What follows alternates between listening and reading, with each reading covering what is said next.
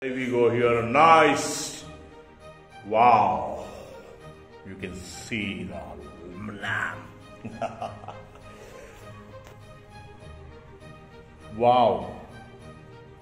Oi, oi, oi, oi. Ah, Enjoy Agwani mutton pulao. Oi, oi, oi, oi.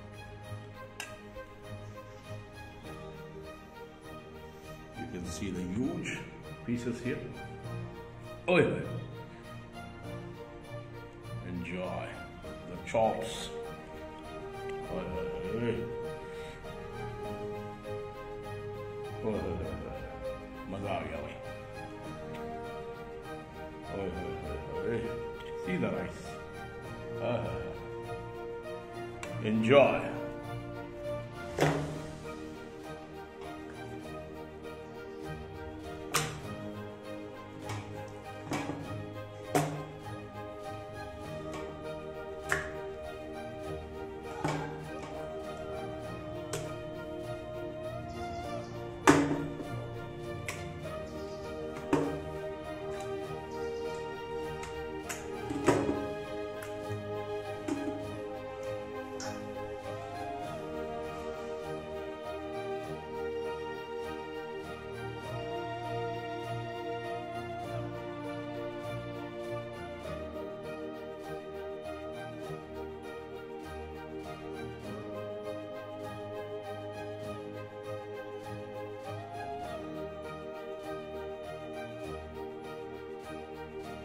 नमक और ज़ाफ़रान लगा के हमने रख लिया था।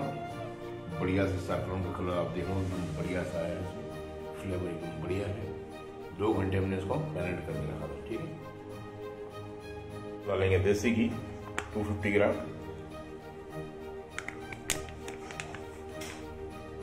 हरी इलायची, बड़ी इलायची, दालचीनी के दो टुकड़े, ठीक है?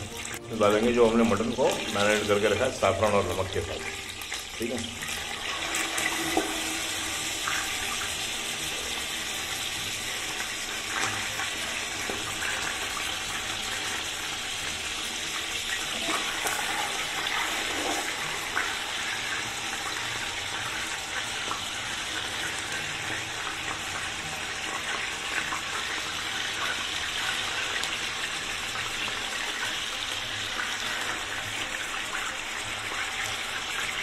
इसमें गर्दन है चॉप है और रान का मीट है फ्रंट लेग का। ठीक है, फ्रंट लेग मीट।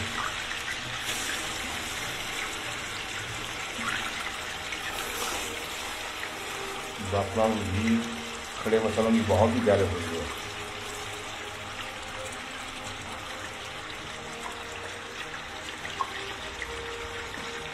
ठीक है, सारा हमने डाल दिया इसमें अब इसमें डालेंगे तली हुई प्याज। एक किलो करीब हमने प्याज को फ्राई कर लिया था।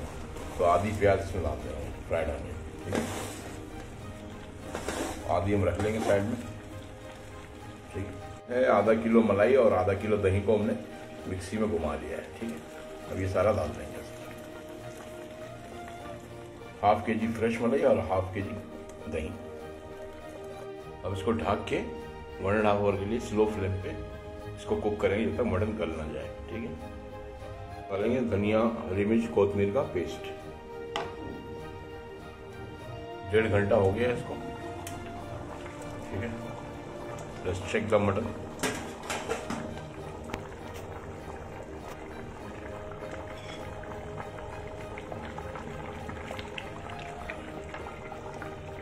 और बढ़िया से गल गया मतलब बोन से मीट छुट गया मतलब गल गया है। बस सारे पीसेस के अलग से निकाल देंगे और स्टॉक अलग से रखेंगे, ठीक है? तो हमने सेपरेट कर लिया सारा। बहुत ही प्यारा फ्लेवर है। अब इसके सॉस को थोड़ा रिड्यूस करके साइड में रख लेंगे, ठीक है? दस से बीस मिनट इसको और पका के इसको थोड़ा रिड्यूस कर लेंगे, बस। सॉस को हमने स्ट्रेन कर लिया है, ठीक है? तो जितना प्याज, खड़े मसाले सब हटा दिए हमने इसमें से, खाली उसका स्टॉक यूज़ करेंगे, ठीक है? अभी एक खाली बर्तन में हम देसी घी डालेंगे 250 ग्राम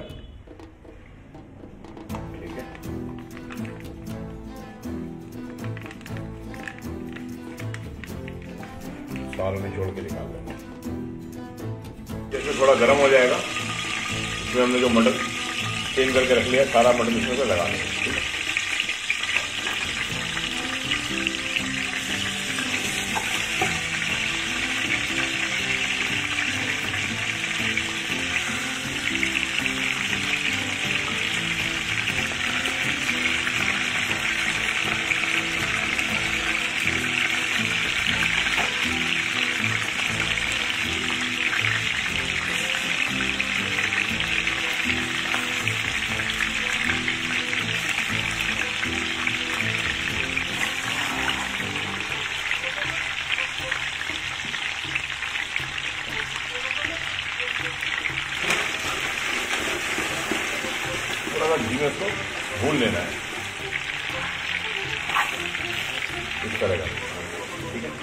मिनट इसको वन साइड नीचे से हाल इसको भूनना है इसको मिक्स मत करना टूट जाएगा ऑलरेडी मीट अच्छे से पक गया सॉफ्ट हो गया ठीक है तो दस से बारह मिनट घी में पकने देंगे इसमें दस से बारह मिनट पक गया अभी इससे जो हमने स्टॉक निकाल के रखा था, मटन का सारा, वो ऐड कर देंगे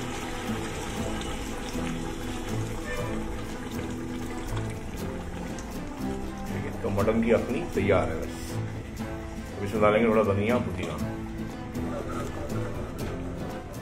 बहुत ही प्यारी खुशबू है देसी घी के साथ सैफ्रॉन और खड़े मसालों की। ऑयल ऑयल स्टॉक डालने के बाद इसको 10 से 12 मिनट पका लेना स्टॉक के साथ, क्योंकि नमक हमने पहले ऐड कर दिया था सैफ्रॉन के साथ।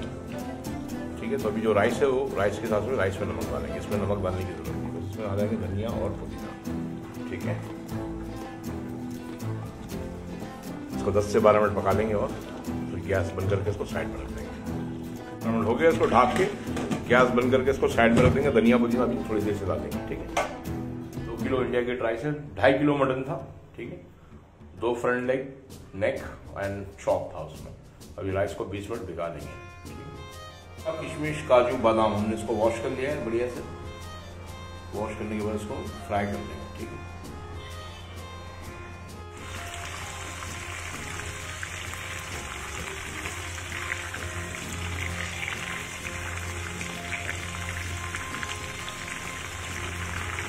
इसमें से सलमन आ रहा है।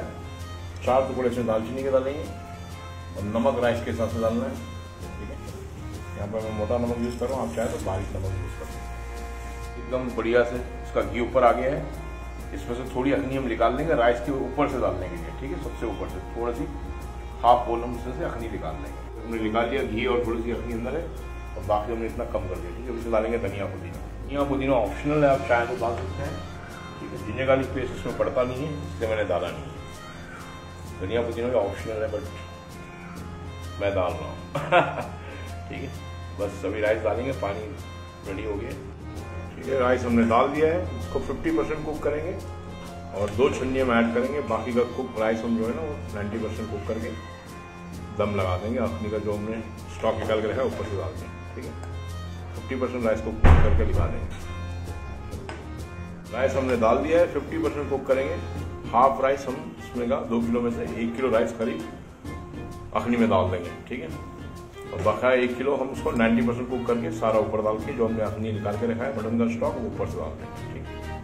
तो ये फिफ्टी परसेंट कुक रहेंगे सारा राइस पानी निकाल देना अच्छे से ठीक है, पानी नहीं होना चाहिए।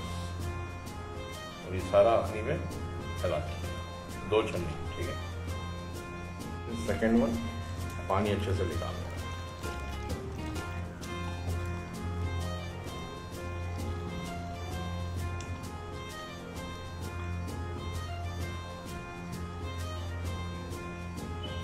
गोइंग द सेकंड वन अब इसको फैला लेंगे।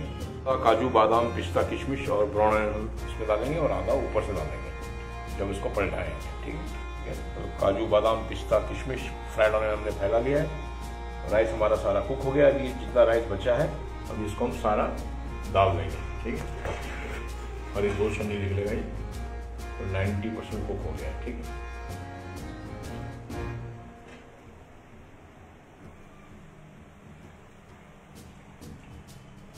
सारा ऐसा ऊपर फैला लेना है, ठीक है?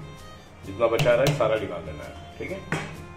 सारा राइस डाल दिया, अभी हमने जो अखनी निकाल के रखा है, घी के साथ, मटन का अखनी है, सारा इस पर डालना है, ठीक है?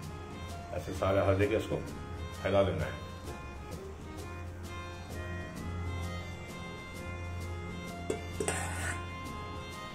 ठीक है? बस इसको फुल फ्लेम पे 15 मिनट, बिना तवे के, और 10 मिनट तवे के साथ फुल फ्लेम पे। बाद में इसको गैस को बंद करके पाँच मिनट तवे पे रेस्ट करने के लिए छोड़ना ठीक है?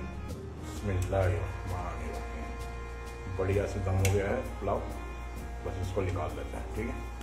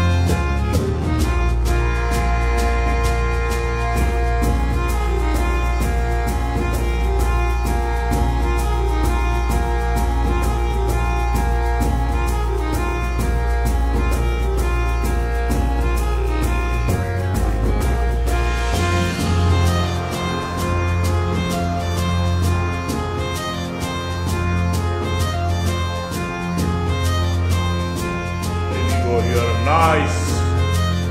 Wow.